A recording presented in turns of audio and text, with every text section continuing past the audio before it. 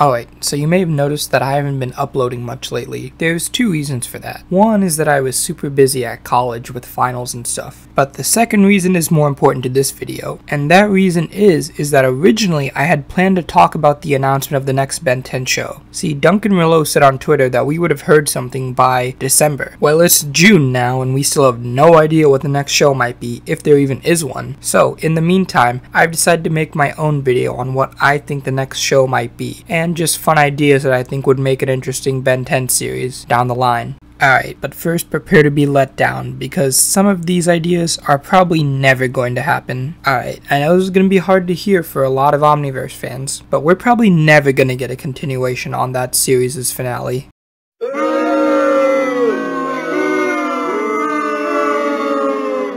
Yeah, I know. It's pretty upsetting, but at this point, it's just too late. It's been about 8 years now since Omniverse ended, and assuming that it comes out this year, which it probably won't, that's essentially 8 years since we last saw Omniverse, which is probably too jarring for people who are trying to just get into the series now, which are going to be the main people Cartoon Network focuses on. And on top of that, Cartoon Network seems to have completely forgotten about the original series continuity, probably because the reboot has been financially successful, so they're probably gonna stick to that continuity from here on out. So yeah, this idea is sadly just that, an idea. It's probably never gonna happen. Alright, this next idea is something I keep hearing being brought up in leaks and stuff, even though it was debunked a couple of times, but a Gwen solo series, where it's mainly a teenage Gwen, at least in some of the versions I hear, going around using her magic and being a superhero. Now, I'm no expert here, but this is like never gonna happen. I'm pretty sure at least. First off, reboot Gwen didn't even have her powers, so we'd be going back to classic continuity Gwen or some alternate universe version of Gwen, both of which seem pretty unlikely. On top of that, never forget, this show is a toy seller. Ben transforms into crazy alien creatures that are then made into cute toys to sell money. Gwen can't do that, so she's not getting a show. It's as simple as that. Alright, I've only heard of this last one from one other person, so I might just be making it up or something, but I've heard people talking about a classic season 5. So let me be clear here. They want to go back to the original continuity and basically have another season from there. Sort of a prequel, I guess, to Alien Force. Basically just think of those flashbacks we got in Omniverse. People want a whole show of that version of Ben.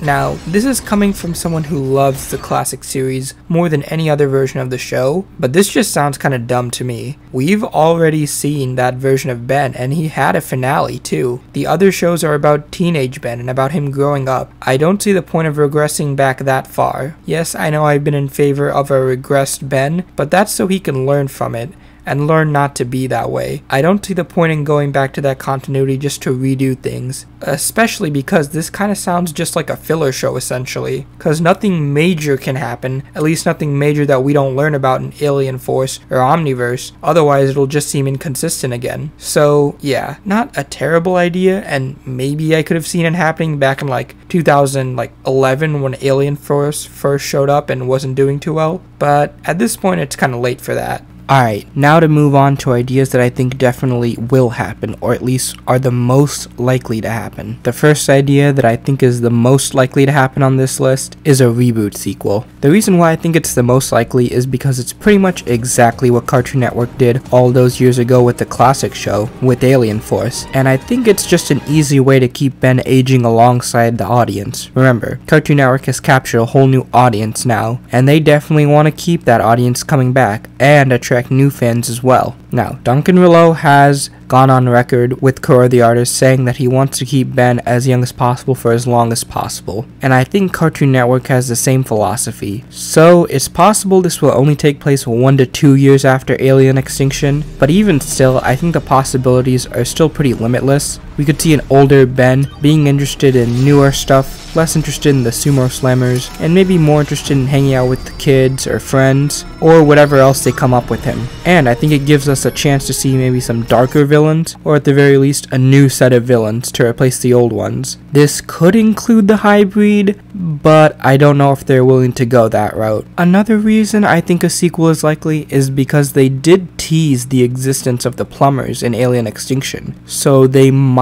set up a whole, you know, plumber squad again like they did in Alien Force. except this time Ben hangs out with them or maybe they're competition to him. It could potentially allow for darker stories not involving Ben, or at the very least some new rival characters for Ben to fight against and maybe even alongside in certain episodes. And along with all that, there are still some villains whose fate is in question. We still don't fully understand what the Forever Knight was. It seemed like it was some kind of helmet possessing people. Maybe that'll get brought back up. And speaking of the Forever Knight, we still don't know what happened to him and Kevin when they went back in time. So there's another idea for stories. And on top of all that, Vilgax might still be out there. And if the plumbers do exist, maybe Grandpa Max and Vilgax have fought before, and we'll find out more about the both of them. So, yeah, there's so much more potential for stories here. And that's not even mentioning Hex and Charmcaster, who in this continuity are separate and don't know each other, but they're both still magic users, and both of whom have a grudge against the Tennysons. So who knows what can happen a year later. Maybe they run into each other and team up against them. Could be interesting. And, and, and, Kevin is still out there with his Antitrix, so he could come back as well, maybe as a hero or a villain, depending on what they want to do with that character. Overall, I just think there's so much potential for a reboot sequel,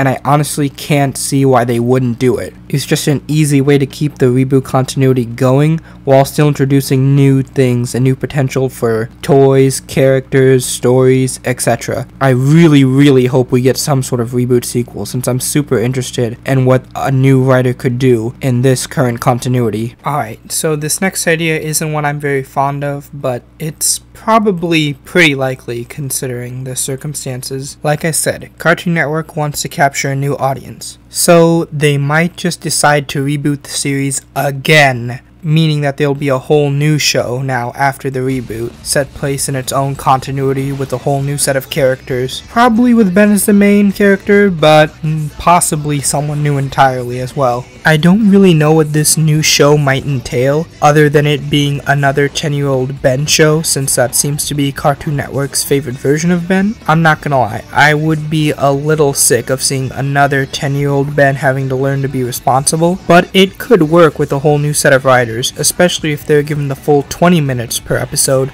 instead of 10 or 11, although that seems pretty unlikely since pretty much all cartoons nowadays are 11 minutes. Don't want to sound too negative about it, but genuinely not that interested in another reboot. I'm more interested in either sticking with this continuity or maybe going back to the old one. But who knows? Whole new set of writers on a new show could be interesting. So we'll just have to see. Alright, now for the real meat of the video. This is just going to be some wild speculation stuff. So, pretty much none of these ideas are probably going to happen, but still, they're fun to think about, and who knows, maybe Cartoon Network will do one of them eventually, after they get done milking young Ben for all he's worth. I think a show where Ben and Rex are teaming up to fight Evos and aliens together is just so cool. We already kind of got this in the Ben Gen 10 crossover, but I think it would be even more cool to go more in depth with this idea. Having Rex be a lost kid that the Tennysons either adopt or find on the side of the road, and a whole wild set of adventures ensues, is just too cool. We could set it in the reboot continuity, which I'm actually perfectly fine with since I feel like there's more to explore with that version of Rex, or a whole new continuity where Ben and Rex meet again for the first time, and a whole bunch of craziness happens, whether it be with Van Kleiss, or another one of Rex's villains, or maybe with Vilgax, one of Ben's villains. Either way, the potential here is just so cool. Ever since the original Heroes United crossover, I've been dying to see these two on screen again. Their chemistry is just so good, and the idea is just so amazing.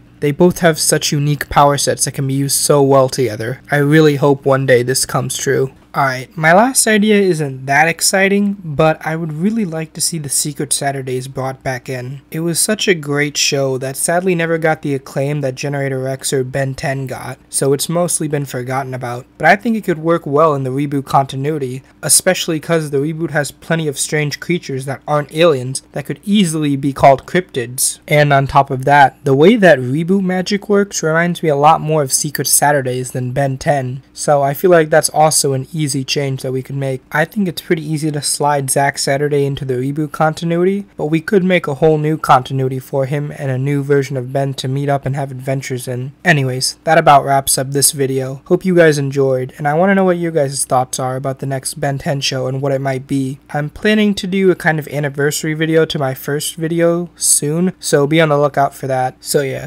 subscribe and hit the notifications. Oh, also, the What If project might get finished soon too, although that one's still up in the air since we still have a lot of ground to cover, but it's getting close to being finished, so be on the lookout for that. So yeah, that's about it. See ya.